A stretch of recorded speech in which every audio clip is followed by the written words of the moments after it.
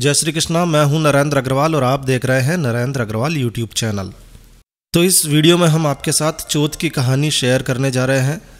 चौथ का व्रत करने के बाद, स्त्रियाँ पूजा करने के बाद इस कहानी को सुनती है। आप भी इस कहानी को सुन सकते हैं। इस कहानी को सुनने मात्र से चौथ माता का आशीर्वाद मिलता है और इसका फल मिलता है। तो आइए सीधे शुरू करते हैं। वैसे ये कहानी राजस्थानी भाषा में लिखी गई है, लेकिन मैं आपको कोशिश कर रहा हूँ हिंदी अनुवादित कहानी आपके साथ शेयर कर रहा हूँ ताकि आपके समझ में आसानी से आ जाए। तो आइए शुरू करते हैं। ये बहुत ही प्राचीन बात है। किसी नगर में एक साहूकार रहा करता था। उस साहूकार के एक बेटा था। बेटा विवाहित था तो साहूकार के घर में पुत्रवधु भी थी। साहूकार की पुत्रवधु जब भी अपने पीहर जाती तो उसके पिता हमेशा उससे एक प्रश्न किया करते थे। कि बेटा क्या खाकर आई हो? और जब भी उसके पिता ये प्रश्न करते, वो हमेशा एक ही जवाब देती कि मैं बासी खुशी खाकर आई हूँ। एक दिन की बात है, साहूकार का बेटा अपने ससुराल आया। तो ससुर जी ने बातों ही बातों में अपने दामाद से पूछा कि बेटा, आखिर क्यों? आखिर क्यों तुम मेरी बेटी को बासी खुशी खिलाते हो?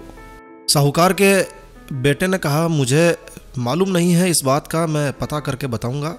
जब वो अपने घर जाता है तो अपनी माँ से पूछता है, माँ, मेरी ससुर जी ने कहा है कि तुम बहू को बासी खुशी खिलाती हो। बेटे की बात सुनकर माँ ने कहा, ऐसा तो कुछ भी नहीं है, मैं तो हमेशा उसे ताज़ा ही खाने को देती हूँ। चाहे तो तू आज देख लेना। बेटे ने कहा, चलो ठीक है, देख लेंगे। एक दिन की बात है, उस बहू के पिता बहू के ससुराल आए हुए थे। बातों ही बातों में उन्होंने फिर पूछ लिया, बेटी, आज क्या खाया है? बेटी ने फिर वही जवाब दिया, बासी खुशी खाई है। और ये बात उसने जब बोली तो उसके सासू ने, साहूकार के बेटे ने, सभी ने ये बात सुनी। उसके पिता के जाने के बाद उसके पति ने बहुत ही नाराज़ होकर उससे कहा, मेरे बाप को क्यों बदनाम कर रही हो? तुम रोज ताज़ा ही तो खाती हो। फिर अपने पिता को बासी खुशी क्यों बताती हो? तो बहू बोली, सुनो, ना तो तुम कमाने जाते हो, ना तुम्हारे पिता ही कमाने जाते हैं। तो फिर ये बासी खुशी ही तो हुई। तो फिर जो मैं खा रही हूँ, वो ताज़ा कैसे हुई? तुम तो अपने पुरखों का धन ही तो खा रहे हो, जो कि बासी खुशी हो चुका है। ना तुमने कभी मेहनत की है, ना तुम्हारे पिता ने कभी मेहनत की है। ये बात सुनकर उसके पति के मन में स्वाभिमान जाग उठा।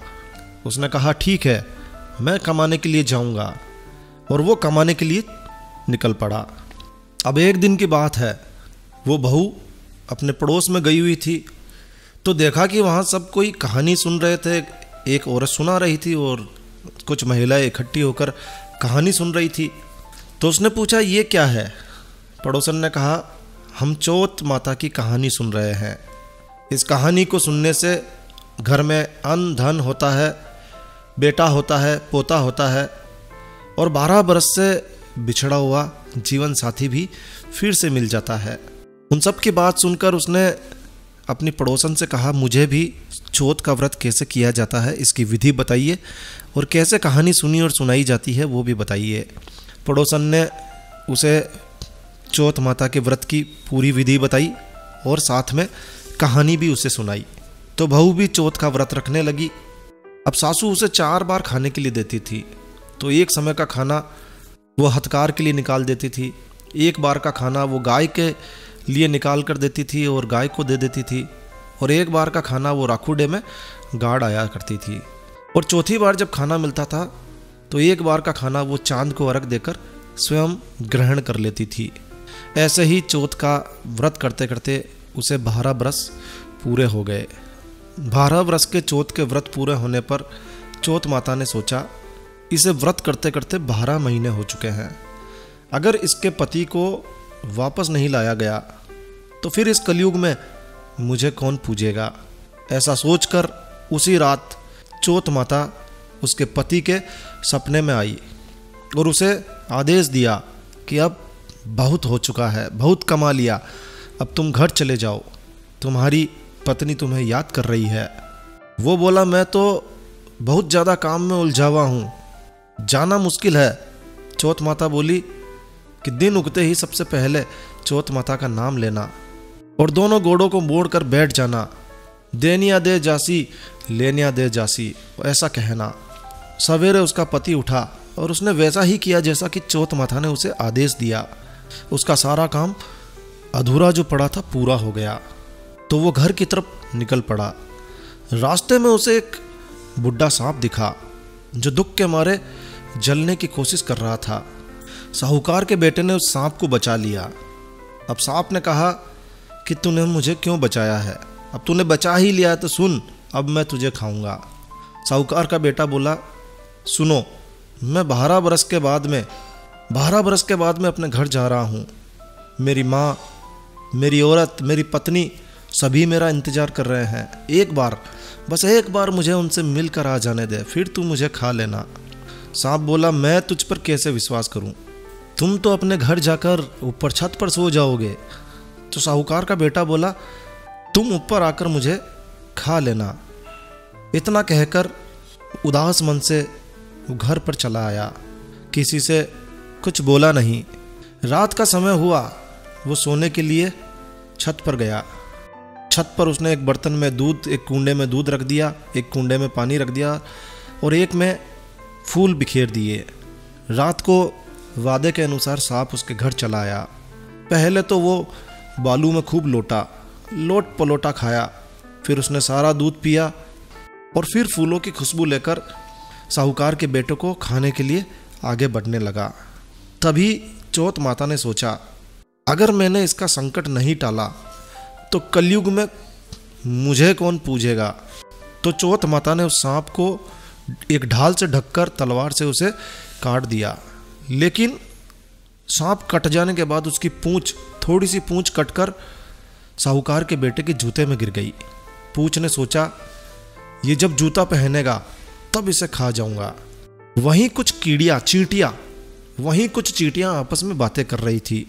कि इस व्यक्ति की औरत, इस व्यक्ति की पत्नी हमें रोज खाने को देती है, हमें रोज कीड़ी नगरा डालती है और ये सांप की पूंछ इसे खाने की सोच रही है, हमें इसकी रक्षा करनी चाहिए। सारी की सारी चींटियाँ, सारी की सारी कीड़ियाँ उस सांप की पूंछ पर लपेट जाती है और उसे थोतला कर देती है, खोखला कर देती है और इस तरह से सारी चींटियाँ मिलकर उस सांप की पूंछ को चट कर जाती है। सवेरे साहूकार के बेटे को उठने में देर हो जाती है तो उसकी माँ उठाने के लिए वहाँ जाती है तो सिड्डियों में खून देखकर चिल्लाती है, सोचती है कि मेरा बेटा मारा गया। बेटा जब उठता है तो वहाँ मरा हुआ सांप देखकर अपनी माँ को सारी बात बताता है और पूछता है, कोई है कोई है जो मेरे नाम से पुण्य व्रत करता है? माँ बोली, मैं तो कुछ भी नहीं करती हूँ। पत्नी बोलती है, मैं करती हूँ। मैंने बारह महीने के, बारह बरस के चोत के व्रत किए हैं। माँ बोली, मैं तो तने व्रत करता देखो को नहीं। यानी कि माँ बोलती है कि मैंने तो तुझे कभी व्रत करते हुए देखा नहीं है। चारों समय की तुझे रोटी देती थी। बहू बोलती है माता जी मैं एक वक्त की रोटी हथकार के लिए निकालती थी, एक वक्त की रोटी गाय को दे देती थी और एक वक्त की रोटी राखुंडा में गाड़ देती थी और एक वक्त की रोटी ही मैं चाँद को रख देकर खाती थी।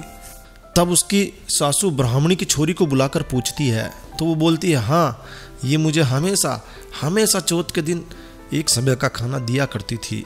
गाय से पूछा गया तो गाय ने भी हुकारा भर दिया राखुंडा खोद कर देखा गया तो वहाँ सोने की जेट लगी मिली। सारी नगरी में ढिंडोरा पिटवा दिया गया। जो कोई भी चौथ माता का व्रत करेगा, उसका अमर सुहाग होगा। उसके घर में धन धान्य की कमी नहीं रहेगी। और इस तरह से चौथ माता ने उसके घर में धन धान्य से भर दिया, उसके पति की रक्षा की। है चौथ माता, जैसे आपने उसके पति की रक्षा की, जैसे रखुंडे में उसके घर में सोने का ढेर लगा दिया वैसे ही कहानी सुनने वाली सभी स्त्रियों के पति की रक्षा करना और सभी के घर में धन धान्य से पूर्ण करना। जय चौथ माता, जय गणेश जी भगवान। तो ये थी चौथ माता की कहानी। इस कहानी के बाद में गणेश जी की कहानी भी सुनी जाती है। हमारे इस चैनल पर आप गणेश जी की व्रत की कहानी, सभी व्रत में सुनने वाली कहानी, इसके बाद में सुन सकते हैं, जिसका लिंक आपको अभी नीचे, आगे डिस्क्रिप्शन में मिल जाएगा या फिर इसी वीडियो के अंत में आपको मिल जाएगा। तो बस इस वीडियो को यहीं विराम देते हैं। ऑलरेडी ये वीडियो काफ़ी लंबा हो चुका है, इसलिए कोई फॉर्मेलिटी नहीं। तो यदि आपको ये वीडियो अच्छा लगा है तो कृपया लाइक कीजिए और यदि आपने चैनल सब्सक्राइब नहीं किया हुआ है तो कृपया चैनल सब्सक्राइब कर लीजिए। तो एक नया वीडियो, एक नई जानकारी लेकर, एक नई कहानी लेकर मैं आपका दोस्त नरेंद्र अग्रवाल फिर मिलूँगा। तब तक के लिए stay healthy stay happy thank you for watching my video thanks जय श्री राम, जय हनुमान, जय चौथ माता।